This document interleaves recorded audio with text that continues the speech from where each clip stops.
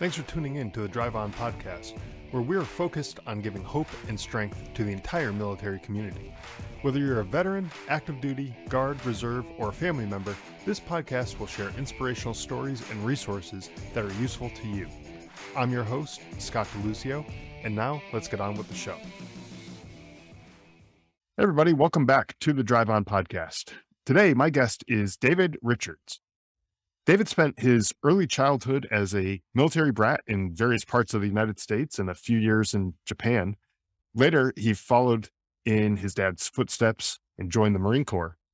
And in this episode, we're going to talk about how David handled his transition out of the Marine Corps and realize that even seemingly impossible dreams can come true as he was transitioning out. So, without further ado, welcome to the show, David. I'm glad to have you on. Scott, thank you so much for having me. It's such a pleasure. I was thinking back because I've been promoting my last book for a couple years now, and this may be the first veteran focused podcast I've done. So I'm really honored and excited to speak with you. Oh, that's awesome. Yeah. And we love having veterans on to share their stories. Really, the heart of it is, you know, sharing your story, tell the things that you've gone through and what you've experienced and how you made things right. You know, like after getting out of the military, a lot of times, a lot of guys and women are coming out and they're just trying to make sense of the world eh, because it's totally different coming out of the military oh, yeah. to into the civilian world. Just a little. And yeah, it is. And when you come out, it's like a whole new world. And so hearing stories from people like yourself and other veterans who've been there, done that, and gone through stuff, it just makes it so much more relatable and lets people know that hey so this guy did it that that gal did it you know whoever it was they did it and i could do it too that gives some hope to people. So i'm hoping that we can kind of dig into your story a little bit and talk about where you were where you are now and how you got there. So i guess let's start off just tell us a little bit more about yourself your background and that kind of stuff yeah. So, as you mentioned at the onset, I grew up in the military. So I was born into a military family. I was born at Fort Belvoir, Virginia. If anybody is familiar with the, that post there, it was strange because you don't know what life is supposed to be like. I mean, you you know your life, and so growing up as a military dependent, I knew we moved a lot. As I was saying before we got on air, we lived for four years off base, and that was a dramatically different experience than living on base but living on base and moving, it was part of my challenge growing up was I I hated losing my friendships. And this was obviously well before the internet, well before you could FaceTime one another and say, Hey, I miss you and all this other stuff. And it was like, so I grew up with this weird, in one sense, I was really creative. We spent three years in Japan when I was in fifth, sixth, and seventh grade. That was hugely impressionable for me. So that was the late 70s, early 80s, which I know could be ancient history for some people.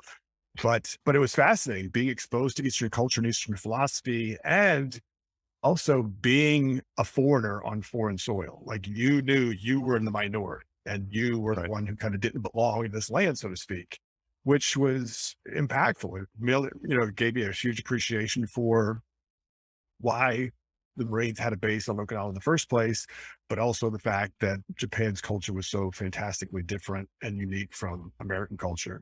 Came back to the States, I went to Camp Lejeune here on the coast of North Carolina, and uh, very different. Now, suddenly, the mindset shifted, the culture shifted. It was high school popularity in the 80s. And it was kind of like, okay, what does that mean? But I realized that such a small fraction of my classmates had the experience of living overseas at that point. I mean, they just didn't. So that was a big change. So I was really creative in English writing, had a, some poetry that won contests, short story that won national recognition. That's kind of what I wanted to do. But growing up on a military base, you just don't appreciate how big the world is, even when you travel overseas. And you just don't appreciate what life is like on the other side of the fence. And that for me was just this big unknown. And so when it came time to college, I only applied to two places. I applied to Penn State and UNC. Penn State, because that was where uh, my dad declared residency for our statehood. So we paid taxes in Pennsylvania. And UNC just because Michael Jordan went there and I thought it was cool. It was like three hours up the road from Camp Lejeune.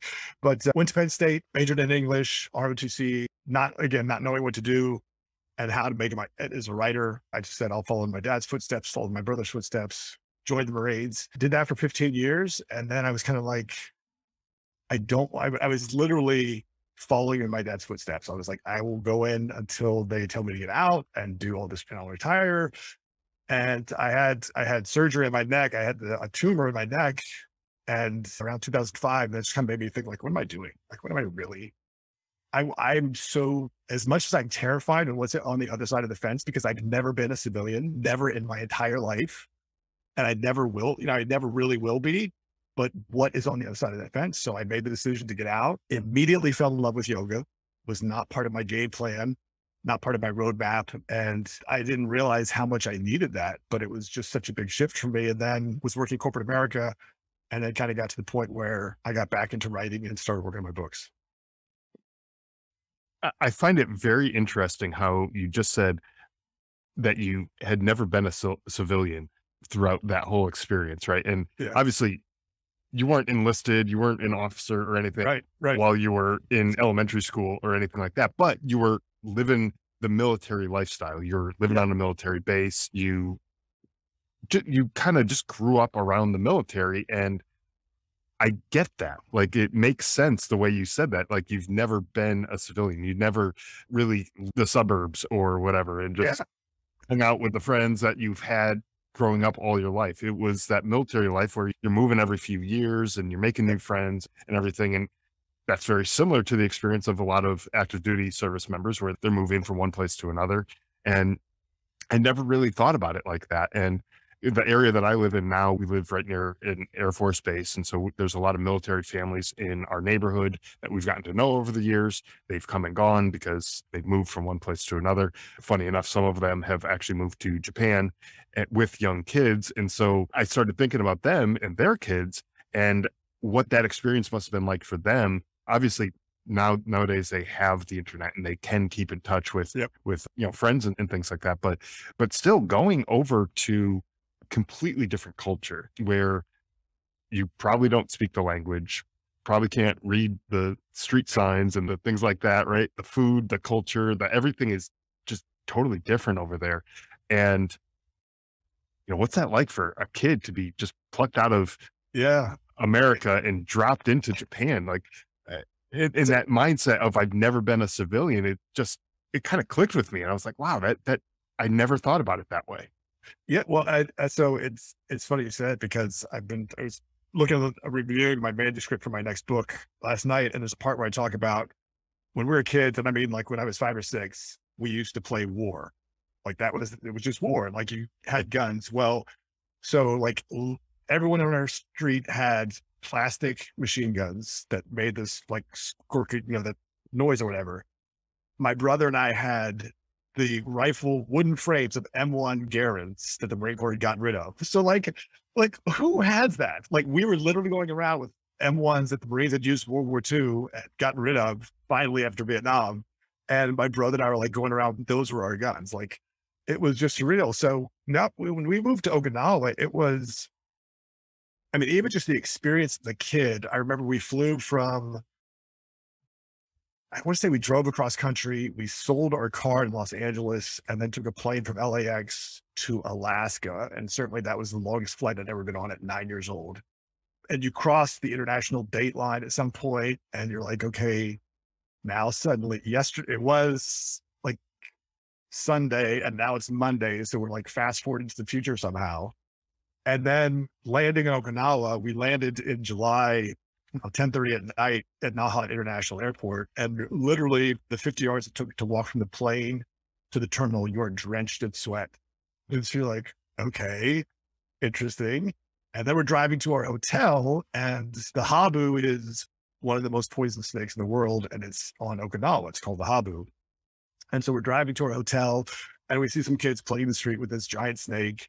You're like, okay, but Okinawa is fascinating. I mean, it's the island is not tremendously big, and there are certainly points on the island where you can be at a peak and look both on both sides of the island to see the water. And so, being in kind of this tropical paradise was fascinating. Like it was on base was so cool because I had uh, two really good friends who were uh, they were a year younger than me, but we had so many things in common, and we lived right next to each other. So it was fantastic.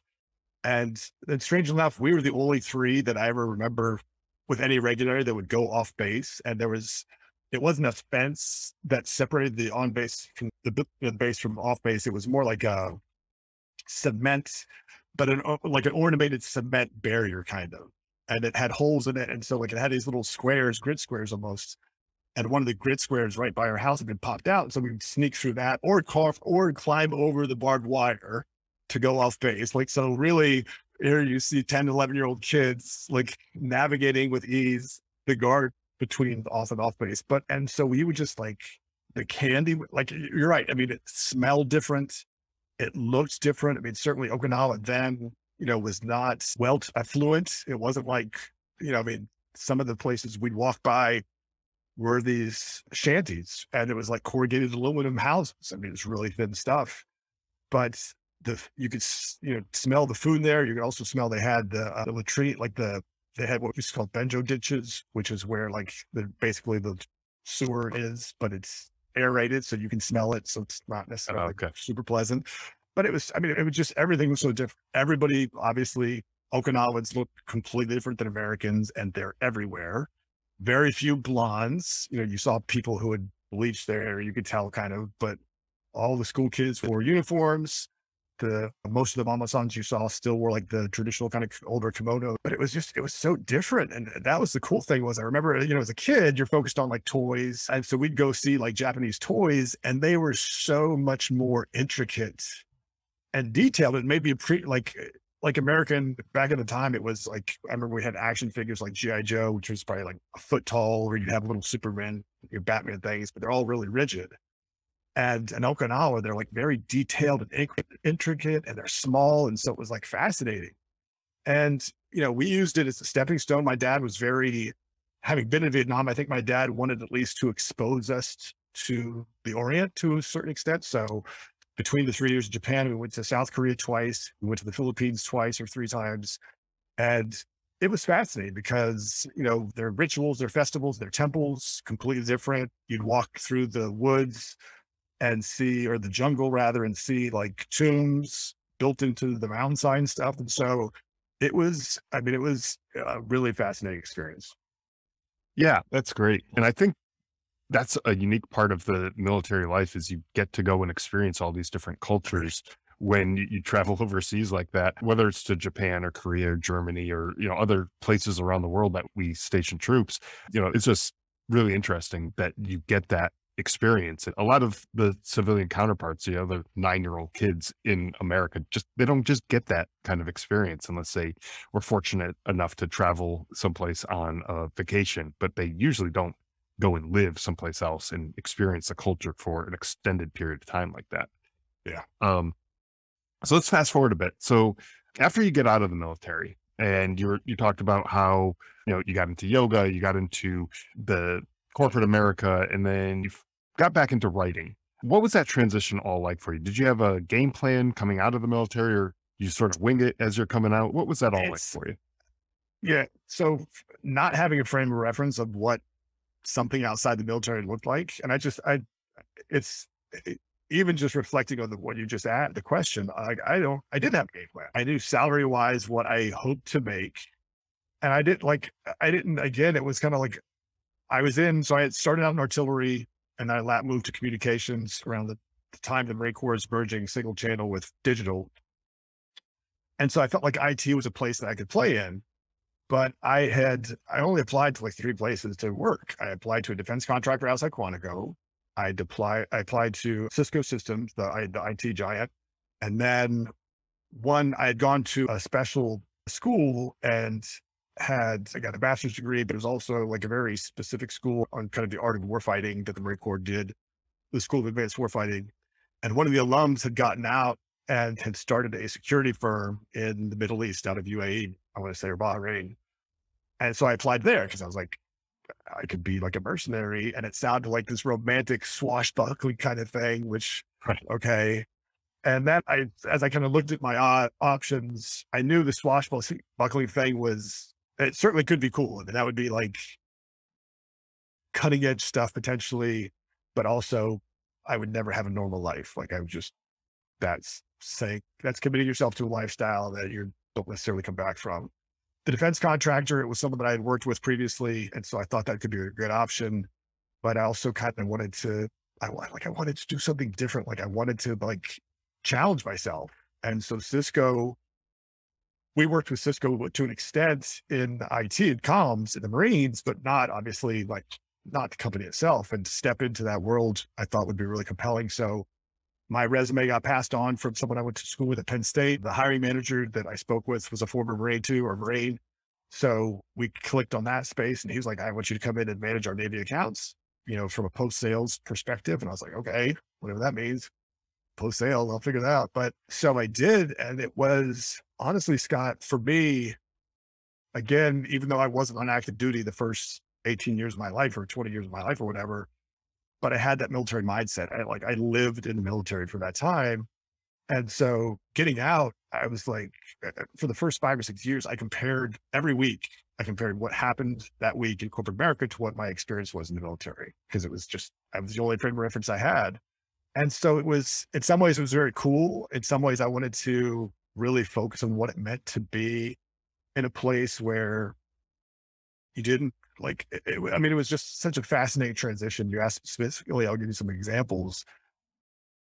Like in the Marine, in the Marines, you don't really have boundaries. Like anything is, you can discuss anything virtually with anybody. Like, and it's just, especially if you're deployed, like there's no hold barred. So I'd been at Cisco three months and had gone to lunch with some, I was a manager. I'd gone to lunch with some of the engineers who were employees who reported to me and then some who were just on our team. And we're walking back into the building and the guy I was talking to, I'm like, man, I got to take a, and I set a colorful way for having to go to the bathroom. And he looks at me in disgust. He's like, keep it to yourself. and I was like, oh, you don't talk about that. Oh my gosh. Like you guys have boundaries. Like, whoa. And it was this big revelation. And so in some ways I was like, I have to be really careful what I say like you can't just be like, oh, is whatever. And and so that was kind of that that pumped my brakes a little bit, but it also made me appreciate that people. Eh, the biggest piece that I came to realize about the transition was, in a lot of ways, in the military, people are the last thing you're focused on is yourself. In many ways, like the last, the absolute last. You're not talking about designing or shaping your life. You're doing your career and going where the needs of Marine Corps or military send you.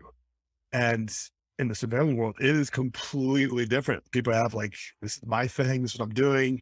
I don't care about you, I don't care what you're doing. And it was just this fascinating shift. And in some ways, that was as radical a shift as yoga was, that was also the pathway for helping me kind of connect myself to something outside the military. Because obviously being exposed to philosophy, you know, Eastern culture in Japan, I took away some semblance of like a meditation practice. Started meditating when I was really young wasn't great at it, but that was part of what lo- what led me into yoga.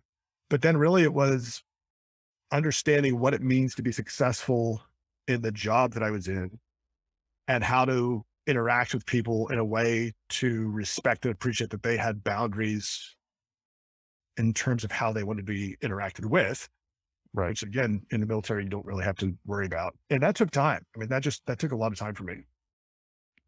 Yeah that is something that it's actually interesting when you said those boundaries. I thought to myself, okay, I think I know where he's going with this because just the way you talk to people in the military is totally different. And those boundaries don't exist the way they do in the civilian world. Uh, you, yeah. you can literally talk about just about anything and people will laugh it off. People, you know, they, it'll, it hits resonates differently with people in the military than it does outside in the civilian world. And yeah. you know, I found myself too just biting my tongue sometimes. Like I know I want to say this, but if I do, everyone in the room is going to be looking at me like I got three heads because this, this yeah. is not going to fly right. So, oh yeah. Uh, so that was a big thing, I think, for a lot of people coming out of the military. It's like, how do I even talk to these people? It's like I'm on a foreign land trying to learn new cultures, customs, it, and it is things like and, that. You know, and especially in you know what's and, and that's the, what's made having been Cisco so fascinating. Cisco is a global company, and yeah. part of the realization of the company is the internet, in particular, since that's really what they do, is about and for everyone. It's not about certain people with certain beliefs. And it's really, it opens up the company in a lot of ways. And that makes you appreciate that everyone wants to be treated as an individual And certainly in the military, where individual identity succumbs to the organizational identity to a great extent, that is a huge transition to make because, again, like you said, in the military, I mean, I remember used to like, I mean, we used to joke unabashedly and nothing, like nothing was really off limits. And it wasn't insensitive because anything was game and like it didn't matter if you were an officer or enlisted, if you were going to participate, it was a brotherhood or a sisterhood. And to get out and you say it's not that way, but that's the great thing about being a civilian or being in civilian world is it's not supposed to be that way. Like the whole purpose of the military is to afford people the luxury of being able to create their own life on their terms. And even that was for me the biggest adjustment to make was certainly growing up in the military and feeling like I didn't have a choice in where we lived, and obviously no kid really does. And then deciding that's what I'm going to do for an occupation for a while was a great way to realize that, oh, well, eh, like this is what I thought I'm supposed to do. And then finally I got this point like, wait, I can do something else. And when you get out, you realize, oh, I can do anything I set my mind to. As long as I have a plan and the tenacity to see it through, that is a completely like in, in, some ways the resiliency that you find in the Marine Corps is a tool or the military is a tool that you can use to say, okay, let me start to get really clear on the future that I want to create for myself and my family. And that, at least for me, that took some practice and time to figure out how to do that really well. Yeah. And when you talk about like getting out of the military and saying you could do anything that you put your mind to and put the effort in for, that's a big thing you could do anything. Yeah. like that. You could be a politician. You could be a doctor. You could be a janitor. You could be like, there's some choices you got to make. Oh yeah, with your life as you're coming out, right? You, you could be a filmmaker. Any, I mean, you could, you could do, yeah. And that's it's it's not it's a little overwhelming, but at first it's right. Like for, for me, it's just first okay.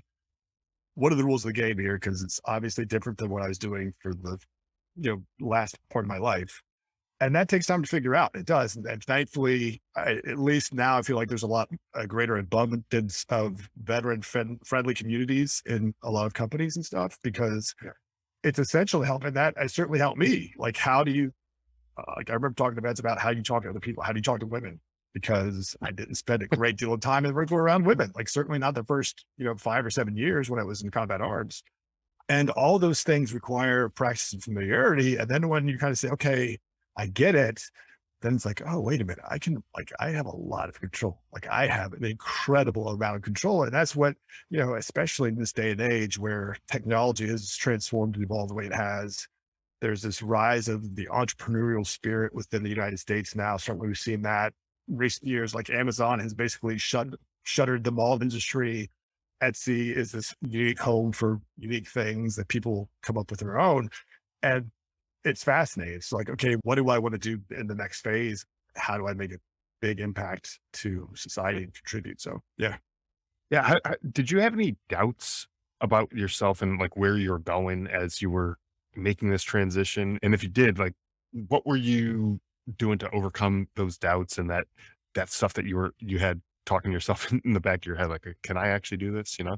Yeah. Well, I, the best example is probably by writing because the reason I gave up on Marine, the one, the reason I gave up on writing when I joined the Marines was because I needed to figure out what does it mean to be a Marine? Like, how do I lead Marines? And then going into Somalian Operation Restore Hope, like writing isn't something that's top of mind for you. Like you're just, it's not in the brain. But then in around 2000, I got inspired. I had a boss uh, who was a full bird colonel, but had been a Boston police officer. Well, is now military police my battalion commander. And he painted like he had paintings that he had done in his office. And I was blown away. I was like, whoa, because you just don't, you do not, I love my fellow Marines, all of them. I had never seen that kind of artistry in the Marine Corps. Like I just, I did not see it. And so we connected like best boss I ever worked for in the military, certainly brought the best out of me. And I started writing poetry again. Also like a, there was a, I was taking a, pursuing a master's in psychology and there was a woman in one of my classes, she had a really poignant story. And she kind of became my muse and I got inspired to write poetry again. And, and even that, but even that, like I'll just share candidly that when fellow officers found out I read poetry, their first question was, are you gay? And I was like, What? You haven't even read my poetry. Like, you don't even know, like, I wrote about Achilles and it is not a good poem. Like, it's not a happy poem. But that was kind of the mindset that people had. And so, like, there's not something that I promoted actively, like, hey, come read my poetry. It's just like, it was this weird thing. So when I got out and finally, even though I was traveling a lot for work, I was stationed, like I, I came home to the same place. And so much of my life, literally for the first 36 years or so, had been measured by how much time I had left at the place I was. And I made base, I made decisions on relationships. I made decisions on like what I was going to do, like in the time I was there. I just made those decisions. And now that stopgap wasn't two years out or three years out. I could potentially stay in one place for as long as I wanted. That was fascinating to me. And that opened up the door for me that I could start writing again. And so, probably about two years after I got out, I was settling off in the corporate world. I was teaching yoga and I'm like, okay, I'm ready to start writing my first book. And I wanted to write horror stories. I loved Stephen King growing up. I love Frankenstein, Mary Shelley's Frankenstein. And so I kind of wanted to be the next Stephen King. So I had an idea because I'd lived in this place at the same time and it wasn't going anywhere. I just had a feel for the town I was in. And I wrote about 110 pages over, I don't know, a couple months and wasn't great, but I just couldn't make it go any further. And so I got really dejected and finally I found an excuse to stop writing and then let it go.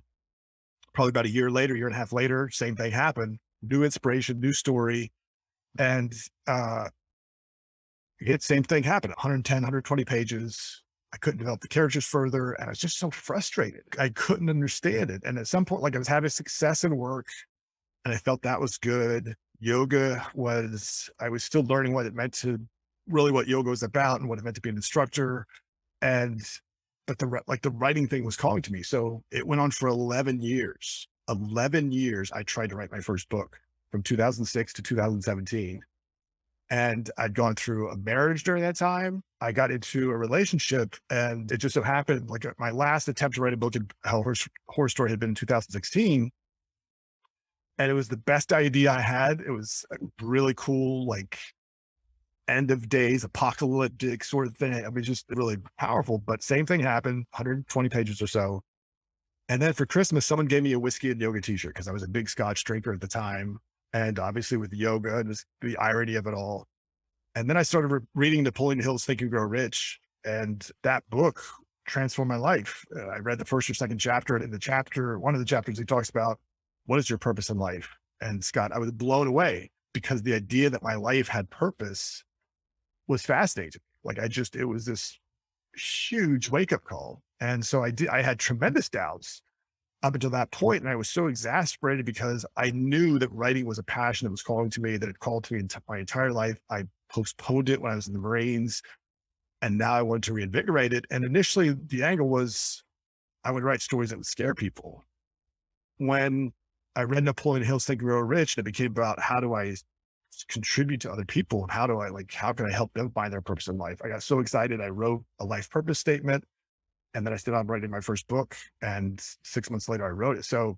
tremendous doubt, and certainly tremendous doubt in the corporate world too. For a while, I thought about should I join the reserves? Still, like I do, still want to do that. And I had a boss who was like, "You make just as much money if you don't do that." And uh, in some ways, he was right, but in some ways, I was like, you know what? I've been, I, I mean, I was just tired of the military. Like, I, I love the service. I love what it did for me, everything, the opportunities I had to do. But after 30 something years, I was like, okay, it's enough.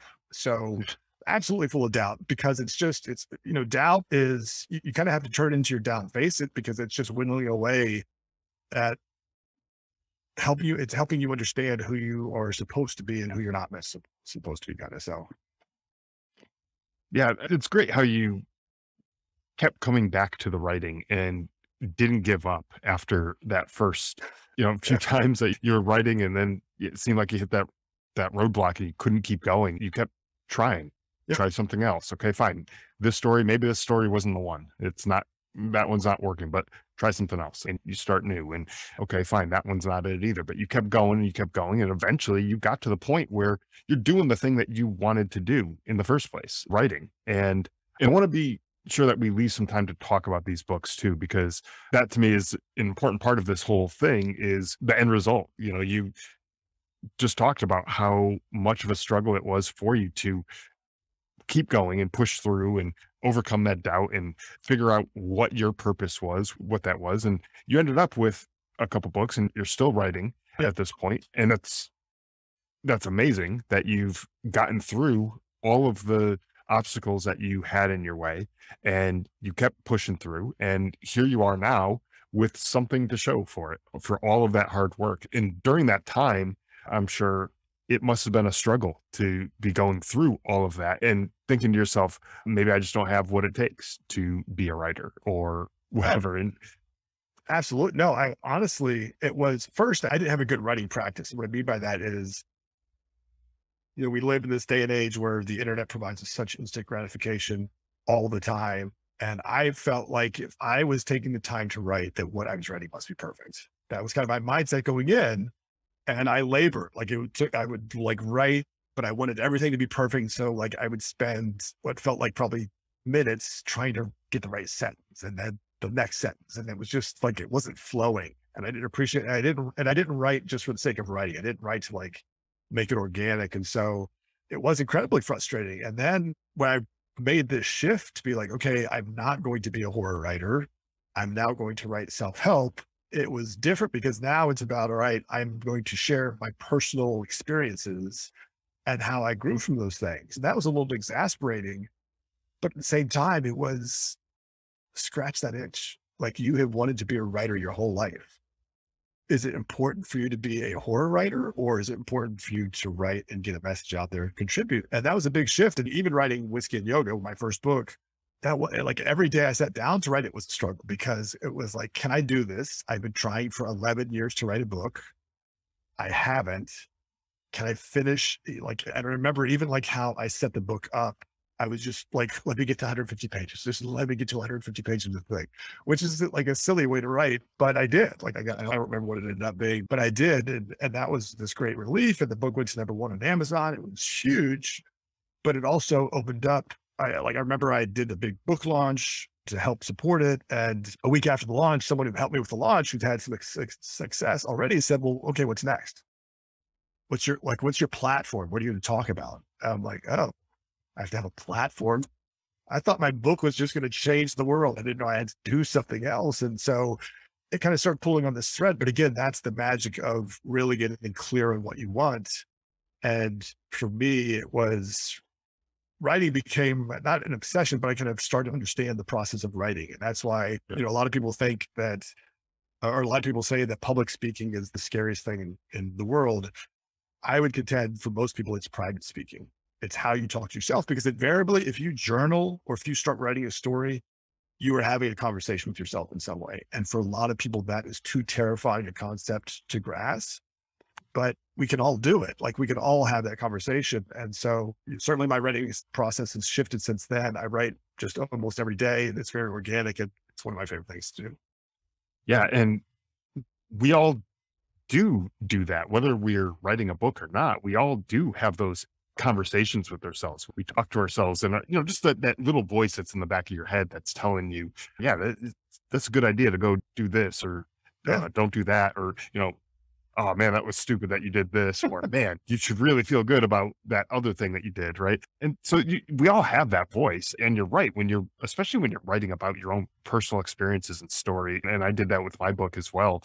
Uh, it's kind of like you're having that conversation with yourself, or oh yeah, uh, in a weird way, it was like I was having conversations with people who I was writing about in the book, but I was yeah. having that conversation in my head. Yeah, what would so and so say if I said this, and you know, what was that conversation like? And it was, it's just a strange process, but you know, I'm glad that you found the thing that you wanted to get out there to yep. benefit the world. Not to say being a, a fiction writer, a, a, horror writer, or something like that wouldn't be impactful. Obviously, people like Stephen King and other yep. writers in that genre, they have had their impact on society. Um, and people need those kind of books too. And those are great, but uh, it just didn't seem like it was flowing for you. So, mm, you know, pivot and just change directions. And you're still writing. Like Yeah. you said, you write every day and you're still doing this. It's a thing that you're passionate about and that you love doing. And here you are and doing it. So, why don't you tell us a little bit about the books that you have? So, Whiskey and Yoga, you mentioned, is one of them. And then The Lighthouse Keeper is the other one, if I'm not mistaken. And tell us about those books and what they're all about. Yeah, for sure. Thanks, Scott. So Whiskey and Yoga again was really kind of a lifetime journey to publishing my first book, but it's a very simple book. It's a weekend read, really. It's a quick read. But the book is about finding your purpose in life and how all of us have a magnetic north that we are guided to. And it's not a mm-hmm. job, it's not a specific function, it's something deeper that guides us to have a fulfilling life while doing tremendous achievements and accomplishments to help other people, to serve other people. And it's really just a series almost of vignettes on kind of experiences I had and what led me to find my purpose and how people can find their purpose too. And a lot of it is simple as just writing the question down. What is my purpose in life? Because if you write that question down, physically do it in the act of writing, not necessarily on a computer, but in the act of pen and paper, your mind will come up with an answer. And, you know, I wrote my first one in 2017. I rewrote it later that year when I went to a Tony Robbins event. And then I rewrote it again this past December at a previous Tony, another Tony Robbins event. And so Whiskey and Yoga gave birth to the Lighthouse Keeper. And it was the Lighthouse Keeper was two, two little sections in Whiskey and Yoga. And it was really born out of my experience as being a yoga instructor. And part of what drew me to yoga, and it's probably a good place to talk about this, is when I got my last assignment in the Marines, was working in Southern Command out of Miami, and so I spent a lot of time in Central America. And this was, like I said, mid mid two thousands. But I would like on average, I would get like fifty email a week. I mean, just I wasn't spending a lot of time on the computer, especially if I was in Honduras or Panama or someplace. And then when I got to Cisco, I would get fifty email like in two hours, and it was it was, I mean, it was nuts. Like the volume of email and just like, how do I manage this thing called an inbox? Like, what is this? And I would leave work and my mind between the radio being on, I would have, my mind would just be this congested freeway of traffic. It would be to-do lists. It would be reminders. It would be meetings that I had to have. It would be people I was meeting with and how I was going to like deal with that meeting. And it was just all this stuff. And what I found really quickly, probably after my second or third class to doing yoga, was when I got onto a yoga mat, all that noise went away. And it was like, whoa, what is this? Like, it's quiet in my head. I can focus like my attention on stuff. And that was a really cool experience. And so that was certainly for the first few years as an instructor, that was really what I focused on was what's the relationship between you and what you observe? Because how you observe something is almost important as what you're observing, where you're putting your attention. And two pe- two people can look at something and have completely different experiences. I can look at a vase of roses and say, "Oh my God, that's so beautiful," and someone else can look at and say it makes them think of a funeral they just attended. So it's two completely experiences. So the lighthouse keeper was really this idea that our mind is an ocean, and that's where all your memories are. Everybody you've ever met is in this ocean. And then your lighthouse, the lighthouse, is where you put your awareness. So this idea that most of us develop patterns and routines in our life. So day after day, especially if you work the same job for an extended period of time, your lighthouse just goes in the same pattern. Well, the premise behind lighthouse keeper is with focus, with meditation, with willpower, and it's kind of a direction on where you want to take your life, who you want to become in the future version of yourself. You can start to direct your awareness to go where you want it to go in the lighthouse instead of reacting to this pattern that you've created. And it's a larger metaphor for life, obviously, that's what we focus on would bring more into our life. And so the key is then to focus on things that we want as opposed to things that we don't want so that we can bring the things we want more into our life. I think both of those uh, sound like they have some pretty incredible messages there. That analogy or that the visual of having the your, your life being that ocean and every experience, every person, every everything that you've experienced in that life is in that ocean, and then you know was drawing you you know towards the lighthouse and everything. I think all of that just seems like it has a lot of good stuff in there. So definitely want people to go check out those books. Where can people go to find your books? Thank you. So they're both available on Amazon. So you can find them on Amazon, Whiskey and Yoga and The Lighthouse Keeper. Or you can go to davidrichardsauthor.com, my website, and they're both available there as well. So I'd encourage you to check them out. I'm, I'm really looking forward to releasing my next book in December. But The Lighthouse Keeper is a great read. It's fun. I just had someone who gave me some nice comments about the other day, but it's that was fun for me because it became was a fiction book. And that was finally like I got to write a fiction book. It was still self help, obviously, with what I just shared. Sure. But the fact that I could make a story out of it was pretty exciting to me. Yeah, absolutely. And it got you into that fiction world as well. It did. You were did. you were trying to get into, and so that's good. It's uh, maybe wasn't the horror that you were looking for necessarily, but it's still a step in the right direction to to get there. And who knows, maybe one of these days you'll have a, a horror book in you, and that will come out as well. I did, but there there are some spooky spots in the Lighthouse Keeper. I will say there's some. The first night in the lighthouse is a little claustrophobic, and the storm comes in, so it's pretty cool. But Yeah. it's not it's not Stephen King quality yet. So Well, you know, honestly, when you mentioned the lighthouse, and I started thinking of the old uh, Scooby Doo episodes, and thinking of them like walking through and, and you know finding the ghost or something like that Right. in there. I and so, so, so it, it kind of had that uh, spookiness to it as well. Probably not Mhm. exactly what you were going for, but that's that was the first thought that popped. I'll take it, Scott. I'll take if it's a Scooby Doo. Much props to Scoob. So I'll take it. Awesome. So I will have links to your website and to your books in the show notes. So anyone who wants to take a look at the books and pick up a copy, definitely check out the show notes and you'll find all the links to them there. David, it's been a pleasure speaking with you today. I really do appreciate you taking the time to come on the show, sharing your experience, your transition out of the military, and how you got to where you are now as a writer and following that passion and overcoming all those doubts that you had about your yourself along the way. I think it's inspiring and I hope other people will take a page out of your playbook and apply that to their lives as well. Scott, it's been an absolute pleasure. Thank you so much for having me on. I'm looking forward to promoting this with my audience, and uh, so grateful for what you're doing. Thanks for listening to the Drive On podcast. If you want to check out more episodes or learn more about the show, you can visit our website, driveonpodcast.com. We're also on Instagram, Facebook, Twitter, LinkedIn, and YouTube at Drive On Podcast.